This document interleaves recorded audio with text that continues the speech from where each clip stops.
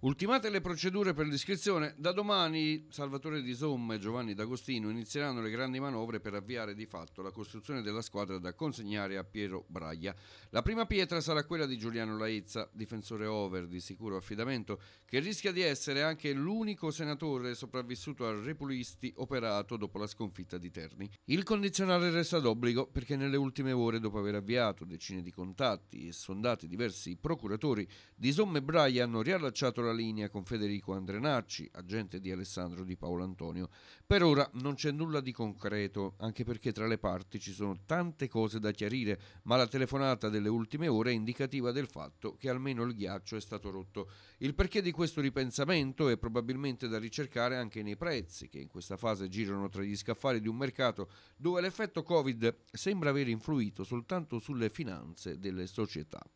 Giuseppe Rizzo, ex Catania, ad esempio, ha nelle scorse ore rifiutato la proposta di un biennale con l'Avellino, ritenendola troppo bassa economicamente. Fasi normali di un mercato che stenta a decollare, anche se i lupi, tra due settimane, vorrebbero presentarsi a sturno con almeno un big e mediana, da scegliere tra quattro esperti, come indicato da Braglia. I nomi sono quelli di Mariano Arini, ex che a 33 anni tornerebbe volentieri all'Ovile in scadenza con la Cremonese, Mirko Bruccini, fresco di svincolo dal Cosenza che a 34 anni ha disputato la sua migliore stagione siglando addirittura 8 reti, il talentuoso Domenico Mungo che in Irpinia potrebbe approdare solo in caso di mancata iscrizione del Teramo e Simone Della Latta, ex Piacenza ed ultima tentazione del duo Braia di Somma. Il 27enne che si è svincolato dal Piacenza ha uno stuolo di estimatori con in testa addirittura la Reggiana seguita da Bari e Padova. Attraverso i suoi agenti, Della Latta ha fatto sapere di voler dare precedenza alla Reggiana dal momento che in B non è mai riuscito a metter piede,